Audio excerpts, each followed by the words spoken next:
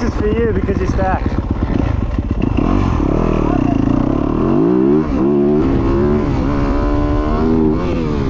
Alright everyone, welcome back. Uh, we're at Gap Creek again. Uh, we weren't sure if we're actually coming here today. It's actually Good Friday. Um, it's very boggy. There's got Richo there. Got Blair over there, he's doing some recording today. We've got uh, Robbo over there, ready to go. We're going to go and hit up VMX, so uh, we'll see you all in a second. So we're on our sight lap here and um, the video doesn't really do it justice. Uh, basically, it is very muddy, and, but it also has a bit of tackiness to it, so you can, you know, put the throttle down a little bit, but you're still sort of sliding, and when you're landing on the down ramps and whatnot, it gets a little bit, um, you know, a bit squirrely, basically. Uh, but, you know, I think we did alright, um, you know, for these type of conditions, but, uh, yeah, definitely uh, was a bit of a learning curve for us on that one.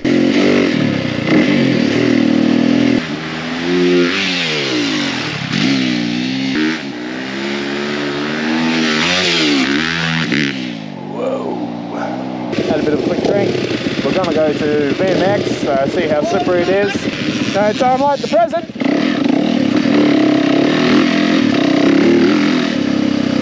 We're now on to the VMX track and the conditions haven't really changed much so it's still that tacky muddiness. Uh, the VMX track actually started to develop some ruts in some unique places uh, which you know proved a bit challenging for us and also off the back end of a couple of jumps so that was a bit interesting to sort of deal with. Uh, then we um, had a guy on a KTM had a pretty bad stack off the back end of this uh, tabletop that we're going up at the moment. Um, so we ended up sort of, you know, giving him a bit of a hand and whatnot, and we sort of, you know, called it at that point. Just to finish off this footage, we're now on board with Blair, giving us sort of his perspective on doing these jumps and his sort of style. Um, I'll get some outside shots, and we'll uh, try and get some more footage of uh, Blair and uh, as well as some of the other boys.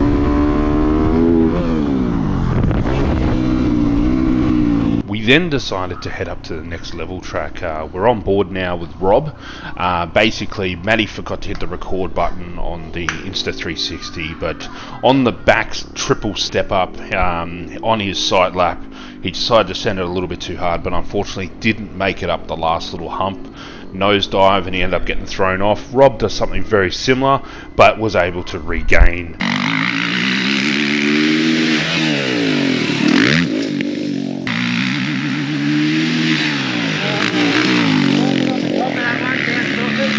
Homemate's catching him, look. Yeah, I want to do it the whole...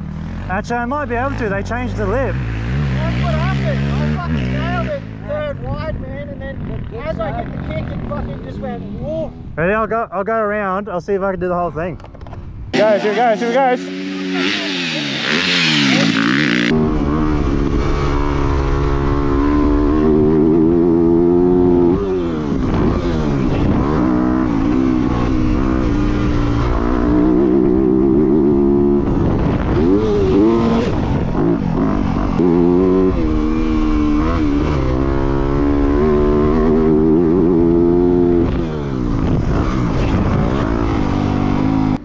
Okay, so we've just finished up lunch and uh, Matty on the KX is just having a bit of a break. So Blair's decided to take his KX 450 out for a bit of a ride.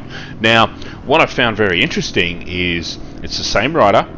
Blair is uh, his 250 YZs on the right and Matt's KX 450 on the left. Now, the difference in riding style is very apparent.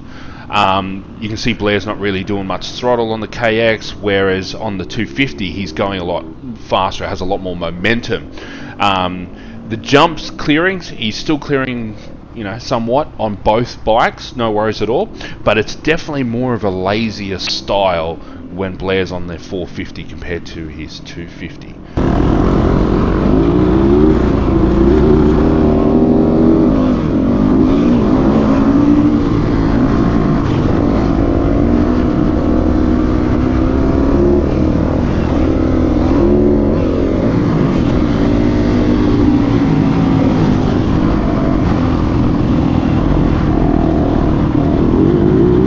we're nearly at uh, end of Blair's first lap, and there's you know a good distance between the two bikes. Obviously, he's not trying to race on, on both. He's sort of just having a, a bit of a cruise, you know, just finish lunch and whatnot.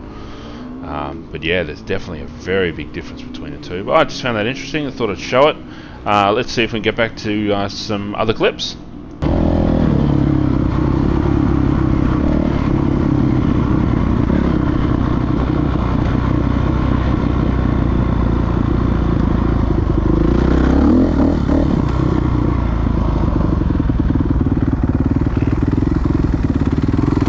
Wrong can. this is for you because you're stacked.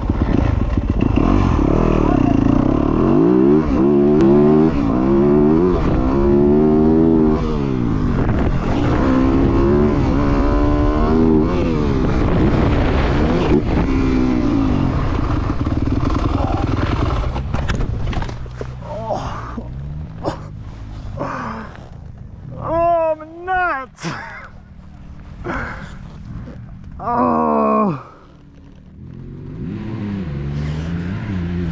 Oh. Oh. Oh, man. Oh. Oh, I did it though. Oh.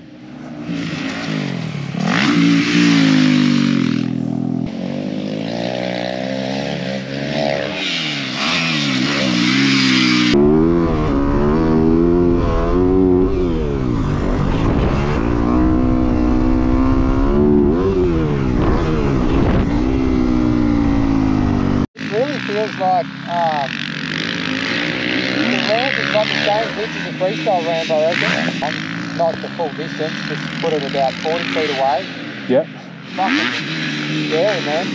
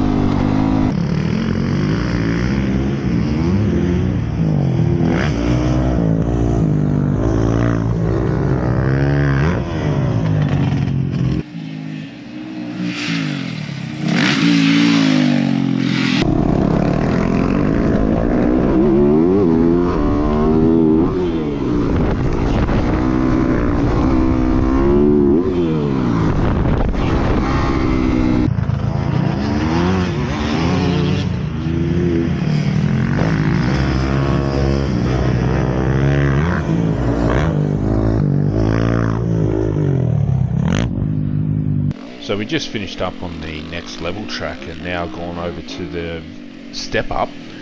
Um, you know, it's, a bit late in the afternoon. It's about two o'clock. Um, we're sort of going to think about calling it a bit early, just depending on how the track is.